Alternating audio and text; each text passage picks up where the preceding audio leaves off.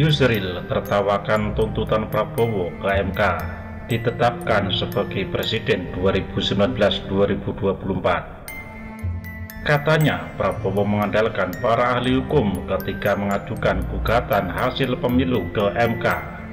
Nyatanya, permohonan itu tidak sesuai dengan kewenangan MK. Dari tujuh tuntutan Prabowo ke MK pada poin ke-6 tidak mungkin dikabulkan MK. Bunyi tuntutan itu sebagai berikut. Memerintahkan kepada termohon atau KPU untuk seketika untuk mengeluarkan surat keputusan tentang penetapan Haji Prabowo Subianto dan Haji Sandiaga Salahuddin Uno sebagai Presiden dan Wakil Presiden terpilih periode tahun 2019-2024. Menanggapi gugatan Prabowo yang mustahil dikabulkan itu, Yusril santai saja bahkan menertawakannya. Menurut Yusril, MK hanya memutus sengketa hasil pemilu. Soal tindak lanjut dari keputusan MK sudah menjadi kewenangan KPU, jadi bukan kewenangan MK menetapkan capres jadi presiden. Hah, saya kira dibaca saja kewenangan MK. MK hanya memutuskan sengketa akhir pemilu, nanti tindak lanjutnya oleh KPU. Jadi kalau dimohon kepada MK, namanya sebagai memohon, ya boleh saja. Apakah akan dikabulkan atau tidak, kita serahkan sepenuhnya kepada Hakim MK, kata Yusril. Yusril mengacu pada kewenangan MK pada Undang-Undang Pemilu pasal 475 ayat 2 Keberatan sebagaimana dimaksud pada ayat 1 hanya terhadap hasil penghitungan suara yang mempengaruhi penentuan terpilihnya pasangan calon atau penentuan untuk dipilih kembali pada pemilu presiden dan wakil presiden.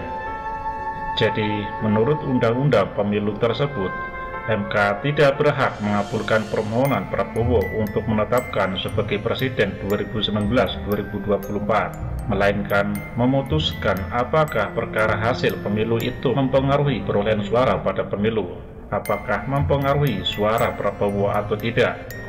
Misalnya, MK memutuskan terdapat kecurangan di 1000 TPS terhadap perolehan suara Prabowo dan sudah dibuktikan dengan catatan tidak terjadi kecurangan yang terstruktur, sistematis, dan masif. Maka suara Prabowo di sejumlah TPS tersebut akan ditambahkan yang secara otomatis akan mengurangi suara Jokowi. Kemudian hasil perhitungan kembali itu akan menghasilkan suara signifikan yang akan menjadikan Prabowo menang atau tidak. Kalau ternyata setelah ditambahkan tetapi tetap kalah, maka hanya hasil perolehan suara saja yang berubah tetapi status kemenangan Jokowi tidak berubah. Hal ini sesuai dengan peraturan MK pasal 8 nomor 4 tahun 2018 yang berbunyi Petitum memuat permintaan untuk membatalkan penetapan hasil penghitungan perolehan suara oleh termohon dan menetapkan hasil penghitungan perolehan suara yang benar menurut pemohon. Itu pun masih menurut logikanya saja, Bagaimana kalau ditemukan ternyata kecurangan yang terjadi di 1000 TPS itu justru menguntungkan Prabowo? Ya beda lagi. Bagaimana kalau terbukti ada kecurangan tetapi tidak mengubah perolehan suara Pilpres? Lain lagi. Bagaimana pula kalau ternyata bukti-bukti yang ada tidak memenuhi? Ya lebih ngenas lagi. Bagaimana kalau ternyata BPN dapat membuktikan bahwa terdapat kecurangan pada pemilu secara struktur, sistematis, dan masif. Kalau itu yang terjadi, bukan tidak mungkin diadakan pemilu ulang atau Jokowi didiskualifikasi. Pemilu ulang sepertinya sangat tidak mungkin dilakukan. Mungkin lebih mudah mendiskualifikasi Jokowi Amin.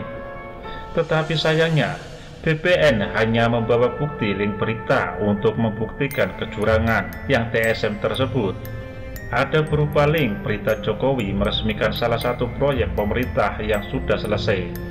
Ada juga link berita hoax akun media sosial Opposite 869 terkait dengan keterlibatan kepolisian dalam memenangkan Jokowi.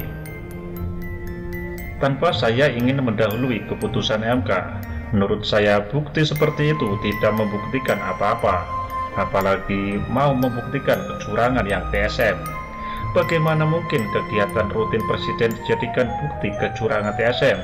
Kan sudah gila. Publik pun saya kira bisa menyaksikan secara terbuka setiap peresmian proyek pemerintah yang sudah selesai yang terjadi selama masa kampanye. Tidak ada satupun peristiwa di mana Jokowi mengkampanyekan dirinya. Jangankan untuk mengajak memilih dia, menyinggung soal pemilu saja, tidak ada. Kecurangannya di mana? Tanya saja Said Didu, ASN yang jadi juru bicara tidak resmi BPN di media sosial dan ke kampus-kampus. Pun demikian juga dengan link berita hoax tentang keterlibatan kepolisian tidak membuktikan apa-apa. Jauh sebelum pemilu, kepolisian sudah mengkonfirmasi bahwa mereka tidak berpihak kepada salah satu pasangan. Polisi bahkan sudah mengejar pembuat dan penyebar hoax tersebut. Bagaimana mungkin BPN menjadikan akun anonim sebagai bukti di persidangan? Ya tanya saja si Raja Hoax Mustafa Nahra yang sekarang sedang diperiksa polisi. Hanya dia yang tahu bagaimana caranya Hoax dijadikan bukti di pengadilan. Jadi, kalau Yusril menertawakan tuntutan Prabowo, ya pantas. Nanti kita akan lihat banyak lagi dagelan kesaksian di persidangan. Tidak jauh beda dengan yang sudah pernah terjadi di 2014.